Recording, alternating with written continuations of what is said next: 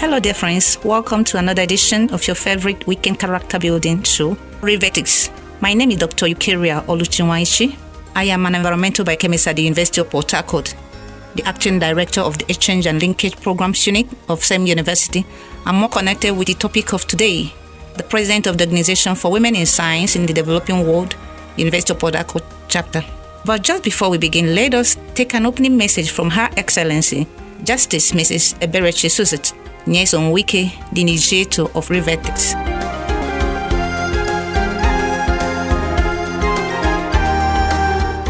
Greetings to the peace loving people of River State. Welcome to another episode of Rivetics on Radio, a character building weekend show. Please remember that empowering more women and girls in science, technology, engineering, and mathematics, also called STEM, will result in yet another wonder of the world. This episode is in commemoration of the United Nations International Day of Women and Girls in Science that comes up on February 11 every year. Science and gender equality are both vital for the achievement of the internationally agreed development goals, including the 2030 Agenda for Sustainable Development. Over the past 15 years, the global community has made a lot of effort in inspiring and engaging women and girls in science. Yet, women and girls continue to be excluded from participating fully in science. The outbreak of the COVID 19 pandemic has clearly demonstrated the critical role of women in science at different stages of the fight against the pandemic, from advancing the knowledge on the virus, developing techniques for testing, to playing the critical role of first responders, and finally creating the vaccine against the virus. At the same time, the COVID 19 pandemic also had a significant negative impact on women scientists, particularly affecting those at the early stages of their careers and thus contributing to widening the existing gender gap in science. Against this backdrop, this year's celebration of the day addressed the theme Women Scientists at the forefront of the fight against COVID 19 and gathered together experts working in fields related to the pandemic from different parts of the world. At present, less than 30% of researchers worldwide are women, and only 30% of all female students select STEM related fields in higher education. Long standing biases and gender stereotypes are steering girls and women away from science related fields. Society at all levels, and I mean family, community, worship centers, recreation clubs, states, and countries must strive to achieve full and equal access to science for women and girls, thereby narrowing the gender equality gap. Let us listen to our guest speaker today as she expounds on the subject. She is Dr. Eucharia Oluchi Nwaichi, the President, Organization of Women in Science for the Developing World, University of Port Harcourt Branch. Enjoy the episode and, of course, put the useful lessons learned to great use. Welcome back. If you're just tuning in, this is Rivetics on radio, and my name is Dr. Eucharia Oluchi Nwaichi. I'll be speaking on the topic commemorating the International Day of Women and Girls in Science 2021. This is on Thursday, 11 February 2021, and it is the sixth edition in the series. About the day, it was established by the UN General Assembly on 22nd of December 2015. Why was it created? It was created one to raise awareness on the issues surrounding women and girls in science. Secondly, to celebrate women's excellence in science. And then to remind the international community that science and gender equality have to be pari passu to address major global challenges and achieve all the goals and targets of the Agenda 2030 for sustainable development. At present, for example, less than 30% of researchers worldwide are women. Just let's get it straight. One in 10 is 10%. So we mean only 3 of 10. Gender inequality affects everyone, not just women, because gender equality is a human right. It achieves full and equal access to and participation in science for women and girls. The benefit of gender equality transcends beyond bounds. It calls for prevention of violence against women. It is good for the economy. It makes for communities to be safer and healthier can see we have a lot to benefit from gender equality, where equal opportunity rights and privileges are given to men and women. in science because we're talking about science domain today. Are women and girls in science really survivors? The answer is no, for sure. Anything goes in a society today, especially in the world of science. You're just a woman, you're often reminded. You can leave that one for a woman when all the positions have been taken. We also have skills. We have passion, we have yearning desire, we have experiences, we have niche, and so on and so forth. So we equally can be marketable to take our passion beyond hobby into career. Oftentimes, people like to learn things in one way. You can't have a holistic view except you open your mind. So, try to learn things in more than one way. Begin to think about gender equality today in whatever you do, especially in the sphere of science, so we can get the development in a sustainable manner. The road ahead, significance of 2021 theme. You know, this is a very beautiful time to discuss this theme of women and girls in science internationally when our beautiful sister Dr. Ngozi Okonjo-Iweala has been sworn in as the Director General for World Trade Organization, it really gladdens my heart to bring in this at this particular special moment. The theme for this year is Women Scientists at the forefront of the fight against COVID-19. Yeah, it's a beautiful thing because COVID-19 pandemic has been the major issue in the news everywhere because it's a terrorized the world, not just Africa, not just Nigeria, but the whole globe. So COVID-19 pandemic has highlighted the importance of collaboration for increased visibility, intersectionality for sustainable and innovative solutions, research informed gender policy making, and tailored funding policies to address specific needs based on robust evidence that we have generated. Now more than ever, I tell you, is a critical time to support women. The pandemic has challenged everyone, regardless of their gender. It did not on men or knock on women though. But more toll has been recorded on women. Many female scientists are struggling to keep up with increased child and family care demands. Ordinarily, female scientists do more household work than male scientists. This is true. So, loss of work hours is attendant with the pandemic that brought everybody home, child at home, husband at home, other people who stay in the house at home. So, this could have long-term impacts on their career. They have this different playing ground to be promoted, to finish their research for the younger academics, maybe running their PhD programs. The time for research, they're using it for household work, while their male counterparts are right on their research. So this has a lot of debilitating effect on the women scientists. COVID-19 pandemic has clearly demonstrated the critical role of women researchers in different stages of the fight against COVID 19. So, have, have graduated fight against COVID 19 into advancing the knowledge on the virus, producing protective equipment, identifying natural remedies, targeting symptoms of COVID 19, facility design, developing techniques for testing, and vaccine against the virus. So I go to the first one advancing the knowledge on the virus. So beautiful women like Dr. Verity Agala, President of Medical Women Association of Nigeria, River State, Professor Florence Nduka, who is at the forefront of pushing ethics in science using the lens of COVID-19. Professor Rose Ogu, a gynecologist, looking at COVID-19 patients who are women, and many others. Producing protective equipment, we have Henrietta Oloma Asuzu Samuel, who is also a member, who have been at the forefront producing protective equipment, even N95 that for medical professionals. Identifying natural remedies targeting symptoms.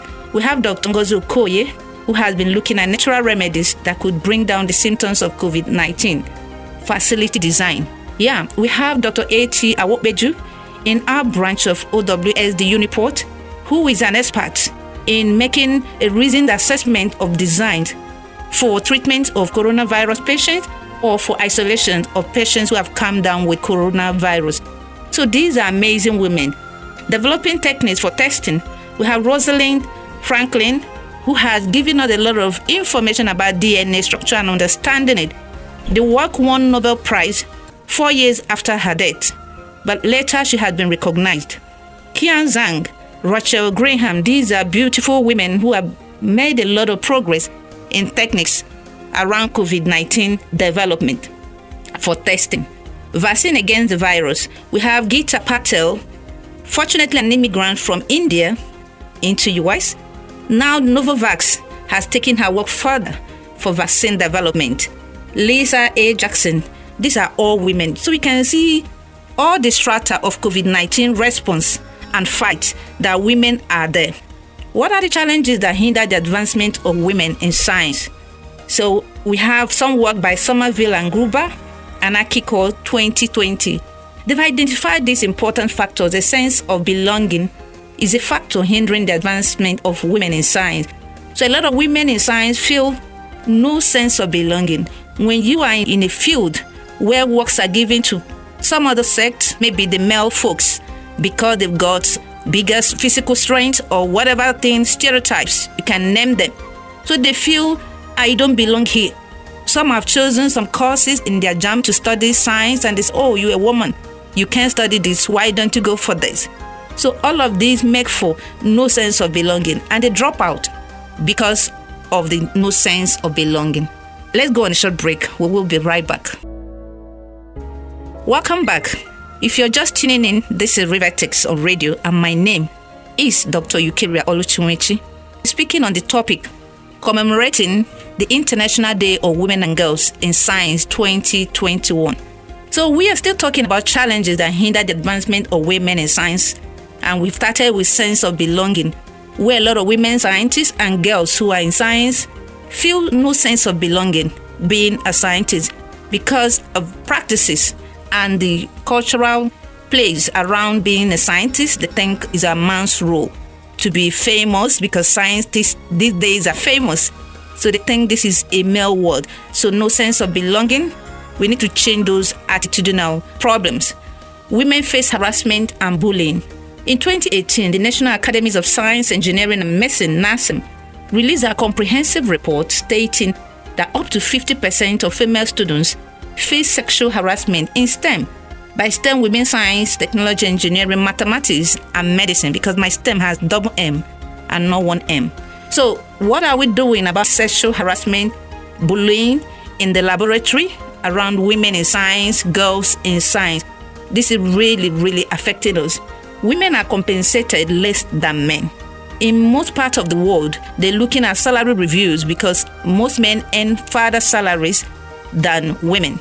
But compensation does not end with money. It can be recognition, it can be promotion, it can be appointments. So we have more men appointed into positions rising from science, engineering, technology, mathematics, medicine. So we need to look at this. Unconscious or conscious bias against women and people of color that prevent these brilliant people moving up the ladder is another factor. So I have a, a woman who was deputy vice chancellor in one university in Nigeria, last time shared her story. She told us they had a meeting where she was the only woman among the principal officers. And could you imagine it was time for tea break? She was asked to serve tea just because what sin did she commit? Just because she's a woman and she's a scientist. So she didn't like this. She fought her way to make them know that it is hierarchical. So they look at it and see who is supposed to serve tea not because she's a woman, but by hierarchy. What is your position in the meeting? Yeah. So everybody needed to be given their due as they have been placed by position, by appointment, not being treated unfairly because she is a woman. So analyzing the cause effect relationship between undesirable things I have enumerated so far and identifying underlying causes that contribute to them happening is really very critical to moving forward Remember, theory of change says any investment that does not address root constraints will be wasted because the overall performance of the system will not improve. Never. These problems I've enumerated have been there for decades. More concerted efforts and awareness can move us steadily towards equality. This we can do by setting measurable goals and progressive targets for change across these areas I would mention now leadership empowerment and cultural change, safety and freedom from gender based violence, economic security, and health and well being. So, if we can do policies that are having measurable goals around these themes, we can actually make progress. What are the research activities that scientists, engineers do that women are not capable of doing? Women are shown example in doing this perfectly well, writing proposals, developing theoretical models, designing experiments, data collection, analyzing data, communicating with colleagues, doing literature review, reviewing colleagues' works, writing articles and position papers, converting data to accessible, durable, and portable piece or database. So this we have done. We have Lindo Genekaru Goto Kembu doing machine language in our university. So women have shown exemplary skills in all of these male-dominated fields in STEM. Interesting facts show that we may have made mistakes in responding to unexpected COVID-19 pandemic, but we have, however, become more experienced now, and we have learned our lessons, so we are less prone to mistakes. If you agree with me, and if we share this learning, those coming after us will learn from our successes and go higher. Instead of crawling, they can be running. The playing the victim card is long expired. Oh, the white people kept us here. Oh, XY kept us here. We should wake up and embrace gender equality in science so we can move forward. So we can review or replace bad policies around science so we can get it right. At our Organization for Women in Science in the Developing World, University of Port chapter, we have tried to do the following to improve the lot of women in science, developing the confidence of mid-career and advanced women scientists to be mentors. As research has shown that younger female scientists are more motivated when accomplished women scientists serve as mentors, serve as speakers, and leaders in their field. We are running advocacy, meeting target audience to present our issues and make available evidence so policies can be enacted and implemented in the direction that we are seeing. Capacity building of our members in teaching and collaborative research, which is non negotiable, of course, to make a productive leap as COVID 19 taught us that each individual is for him or herself. So we need to work together. Activating network for members to leverage on and creating opportunity to showcase own research and expand scientific and professional skills as most women are not able to fund members trip to conferences where they provide opportunities for them to showcase their research so we are providing such platforms and we also documenting who is doing what to guide action. I recommend that we as a people of the world wear a gender lens across strata.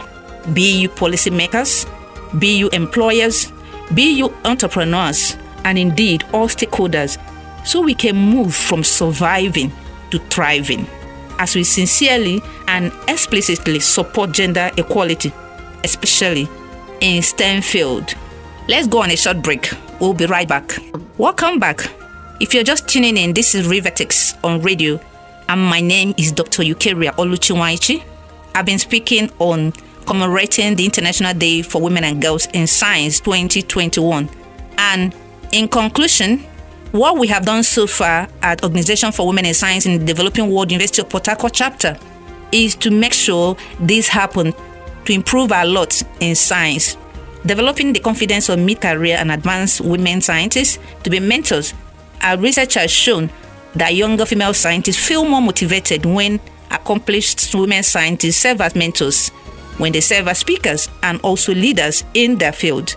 We also run in advocacy with the target audience policymakers, entrepreneurs, individuals, telling them about our issues and proposing solutions that could bring about inclusion of gender in science policies and implementation. We also building capacities of members in teaching and collaborative research, which is our non-negotiable part to make a productive leap as COVID-19 taught us that each individual is for himself or herself, necessitating collaboration. We also activating network for members to leverage on for different areas of servicing science. We also creating opportunities to showcase own research and expand scientific and professional skills. It is very difficult to find funding to travel for conferences, workshops, seminars, symposia. So we making platforms for members to showcase own research and also learn from others. We also documenting who is doing what to guide future action. So I recommend that as a people of the world, we should wear a beautiful gender lens across strata, whether you're policymakers, employers, entrepreneurs, and indeed all stakeholders so we can move from surviving to thriving as we sincerely and explicitly support gender equality, especially in STEM field, that means science, technology, engineering, mathematics, and medicine field. And I'll leave you with the beautiful words of Marvin Minsky. He says, Societies needs rules that make no sense for individuals. For example, it makes no difference whether a single car drives on the left or on the right, but it makes all the world of difference